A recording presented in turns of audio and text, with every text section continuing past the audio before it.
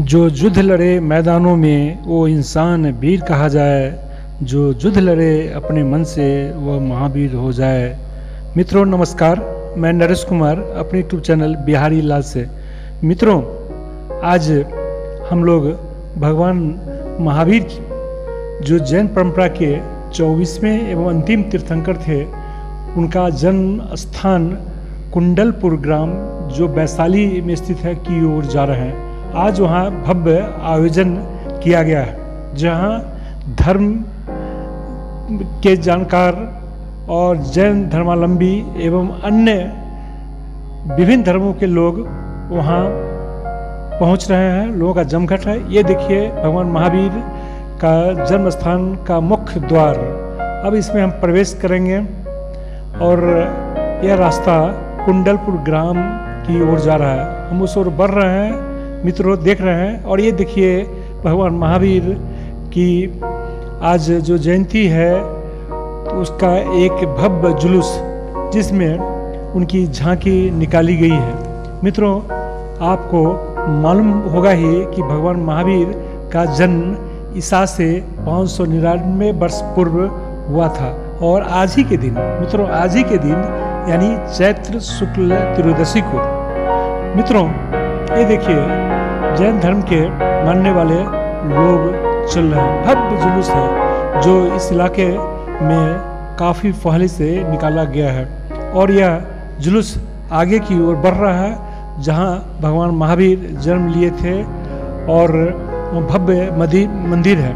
मित्रों, आपको मालूम ही होगा कि भगवान महावीर भगवान महावीर राजा सिद्धार्थ और माता त्रिशला के पुत्र थे। और वो तीस वर्ष की अवस्था में राजमहल उन्होंने त्याग दिया था। मित्रों, यही मंदिर है, यही मंदिर जहाँ भगवान महावीर का जन्म हुआ था। और ये देखिए, उनके धर्मावलंबी काफ़ी संख्या में देश के विभिन्न हिस्से से पहुँचे हैं, जो भगवान महावीर की आराधना कर रहे हैं और कामना कर रहे हैं कि ईश्वर देश ही नहीं, विश्व में शांति प्रदान करे, जिससे मानव जाति का कल्याण हो और मानव विकास की ओर बढ़े। मित्रों, भगवान महावीर का संदेश आज भी प्रासंगिक है। अगर उनके धर्म के हिसाब से चले तो निश्चित तौर पर सबों का कल्याण होगा।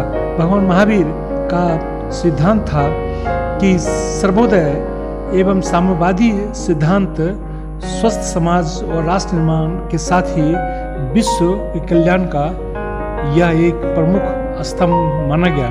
मित्रों भगवान महावीर आज भी प्रासंगिक है। आज भी प्रासंगिक है।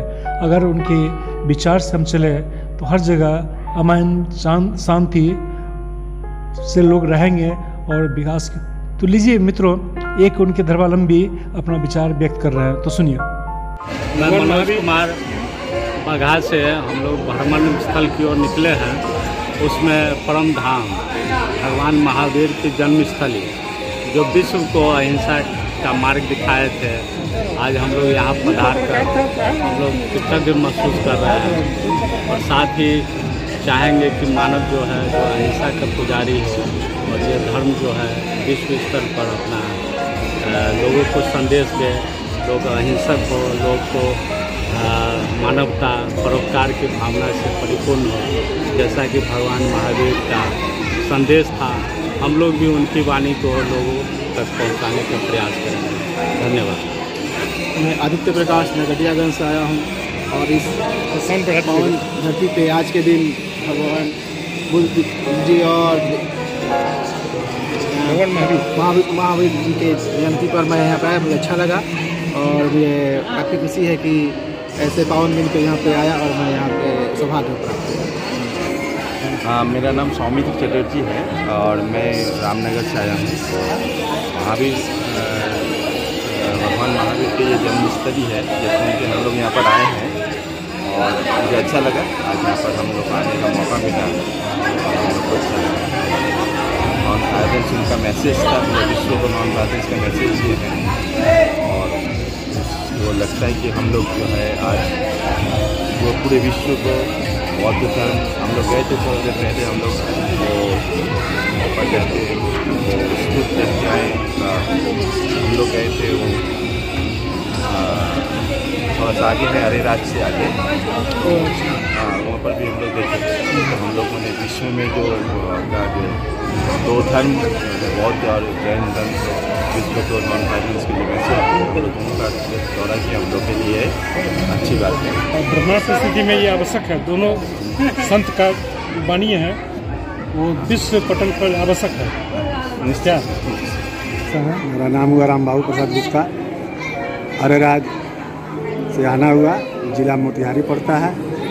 तो मैं यहाँ वैशाली में महावीर जो जन्मस्थली है, वहाँ मैं उनके दर्शन करने आया हूँ। जो महावीर जी की जो जन्मस्थली है, महावीर बुद्ध की यहीं पर जन्म हुई थी, जो विख्यात है। आज की रोज़ यहाँ लोग उनके दर्शन करने आते हैं। पूजा अर्चना करते हैं और उनसे जो अपनी मनोकामना होती है मनोकामना रहता है। एक चीज़ और बताइए वर्तमान समय में जो भी विश्व पटल पर अशांति है कहीं युद्ध चल रहा है कहीं कुछ है उसमें भगवान महावीर की वाणी कहाँ तक प्रासंगिक है आपकी नज़र में? महावीर की वाणी जो है अभी जो स्थिति गुजर रही है देश के विश्व का। विश्व का जो गुजर रही है तो महावीर का अगर वाणी का अनुयायी लोग करें अगर उनके धारा पर चले उनके रास्ते पर चले तो ये जितनी भी अशांतियाँ विश्व में फैली हुई हैं, वो अशांतियाँ कम हो जाएँगी, दूर हो जाएँगी।